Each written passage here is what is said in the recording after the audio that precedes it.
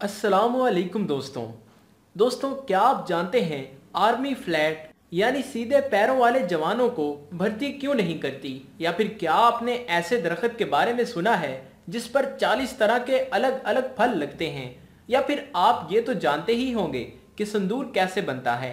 अगर नहीं जानते तो कोई बात नहीं, क्योंकि आज की वीडियो में हम आपको चंद ऐसे ही दिलचस्प और अजीबोगरीब फैक्ट्स के बारे में बताएँगे। इस वीडियो को आखिर तक ज़रूर देखिएगा। नंबर वन दोस्तों, क्या आप जानते हैं कि फौज में फ्लैट पैरों वाले जवानों को भर्ती क्यों नहीं किया जाता?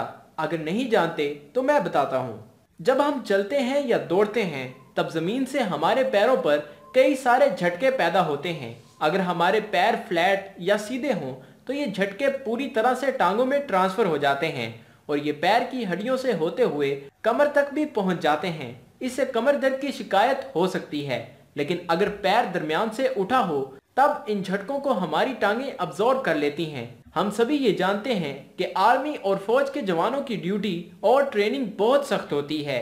इनकी ट्रेनिंग में भागना, कूदना और चलना उनकी रूटीन का हिस्सा होता है। ऐसे में सीधे पैरों वाले इंसानों को रीढ़ की हड्डी की प्रॉब्लम होने के इम्कान ज़्यादा होते हैं। इसी वजह से आर्मी और फौज में ऐसे जवानों को भर्ती नहीं किया जाता जिनके पैर सीधे होते हैं।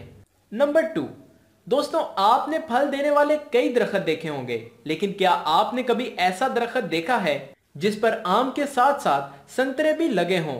यकीनन नहीं देखा होगा। इस फैक्ट में मैं आपको एक ऐसे दरखत के बारे में बताने जा रहा हूँ, जिस पर दो तरह के नहीं, बल्कि 40 किस्म के अलग अलग फल लगते हैं। ये सुनने में बहुत ही अजीब लगता है, लेकिन हकीकत में ऐसा दरखत अमेरिका में बनाया गया है। अमेरिका की सैराक्यूज यूनिवर्सिटी के विजुअल आर्ट्स के प्रोफेसर सैम वेन एकन ने इस अजीब गरीब पौधे को बनाया है, जिस पर 40 तरह के फ्रूट लगते हैं। ये दरख्त ट्री ऑफ़ फोर्टी के नाम से भी जाना जाता है। इस दरख्त की कीमत 19 लाख रुपए लगाई गई है। इस दरख्त पर बेर, खुबानी, चेरी और ऐसे ही कई दूसरे फल उगते हैं। लेकिन अगर आपके दिमाग में सवाल उठ रहा है कि ऐसे दरख्त को कैसे तैयार किया जाता है तो मैं आपको बता दूँ कि ग्राफ्टिंग टेक्निक के ज़रिए सर्दियों में दरख्त की एक टहनी काट कर अलग कर ली जाती है। फिर इस टहनी को एक दूसरे फल की टहनी में सुराख करके इसके साथ टेप के ज़रिए लगा दिया जाता है और पूरी सर्दियाँ ये टेप लगी रहती है, जिसके बाद ये टहनी उस दरख्त के साथ जुड़ जाती है और फिर इसको फल भी लगने शुरू हो जाते हैं। नंबर थ्री, क्या आप जानते हैं कि दुनिया का सबसे महँगा लिक्विड कौन सा है?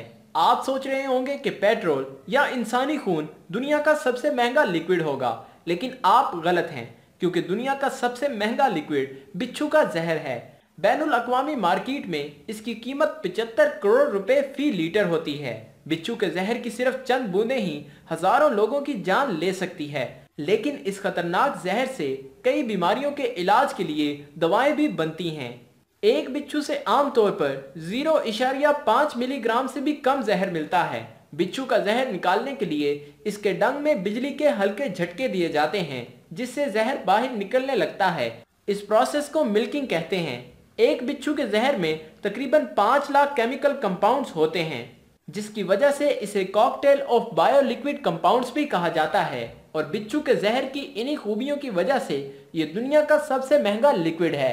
नंबर फोर हिंदू तहजीब में सिंदूर एक शादीशुदा औरत की पहचान है। ये हज़ारों सालों से हिंदुस्तान में इस्तेमाल हो रहा है। लेकिन क्या आप जानते हैं कि सिंदूर कैसे बनता है? आप ये जानकर हैरान रह जाएँगे कि असली सिंदूर को एक पौधे के बीज से बनाया जाता है, जो कमेला की फली से निकलता है। 20 से 25 फीट लंबे इस दरख्त में ये मटर जैसी फली गुच्छों में लगती हैं, जिसमें सरसों के साइज़ के दाने होते हैं, जो कि लाल रंग के कवर से ढके होते हैं। कुछ भी मिलाए बगैर इसे ही सिंदूर या कुमकुम के तौर पर इस्तेमाल किया जाता है।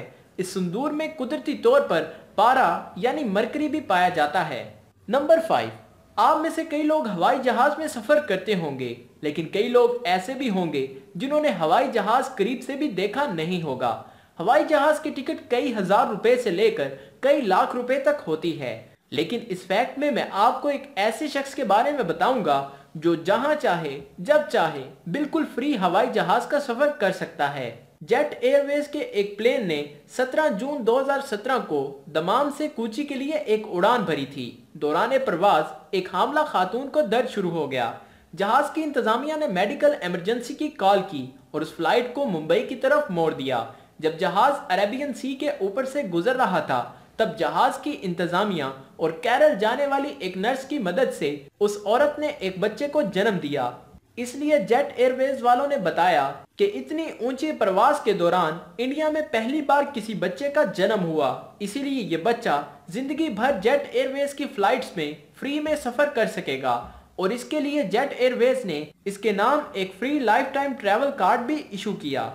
नंबर सिक्स इस फैक्ट में मैं आपको एक ऐसे शख्स की कहानी बताने जा रहा हूँ, जो उन्नीस में बर सगीर की तकसीम के बाद पाकिस्तान से भारत हिजरत करके आया था। लेकिन आज उसकी फैमिली पान बेचकर सालाना 100 करोड़ से जायद कमाती है। इनकी दुकान में बने हुए पान के दीवानों की लिस्ट में अमिताभ बच्चन, शाहरुख खान, आमिर खान और सलमान खान समेत मुकेश अंबानी जैसे बड़े नाम भी शामिल हैं। दरअसल उन्नीस में यश टिकवानी के दादा हिंदू होने की वजह से पाकिस्तान से भारत आए थे। उन्होंने पहले रेलवे स्टेशन पर कुली का काम किया, कुछ साल पकोड़े भी बेचे और फिर उन्होंने फुटपाथ पर पान बेचना शुरू किया। फिर उन्नीस में यश टिकवानी के वालिद भगवान दास टिकवानी ने कैलाश में अपनी पान की दुकान शुरू की। उन्होंने अपने पान की क्वालिटी और पान में इस्तेमाल होने वाले सामान की क्वालिटी का खास तौर पर ख्याल रखा और आहिस्ता आहिस्ता उनकी पान की दुकान सिर्फ़ भारत ही नहीं, बल्कि दुनिया के दूसरे मुल्कों में भी अपनी धूम मचाने लगी। आज यश टिकवानी की सात पान की दुकानें हैं, जिनमें से दो थाईलैंड और एक लंदन में है। यश टिकवानी अमेरिका में भी पान की दुकान शुरू करना चाह रहे हैं। एक छोटी सी दुकान से पान बेचकर अरबपति बनने की ये कहानी हमें इंस्पायर करती है और साबित करती है कि इस दुनिया में कोई भी काम छोटा नहीं होता, छोटी सिर्फ़ हमारी सोच होती है। तो दोस्तों, ये थी हमारी आज की वीडियो। उम्मीद करता हूँ वीडियो पसंद आई होगी। पसंद आई हो तो लाइक करें और इसके मुतालिक कोई राय या सवाल हो तो कमेंट बॉक्स में अपनी राय का इजहार ज़रूर कीजिए और हमारे चैनल को सब्सक्राइब करते हुए साथ मौजूद बेल आइकन को भी प्रेस कर दें। शुक्रिया।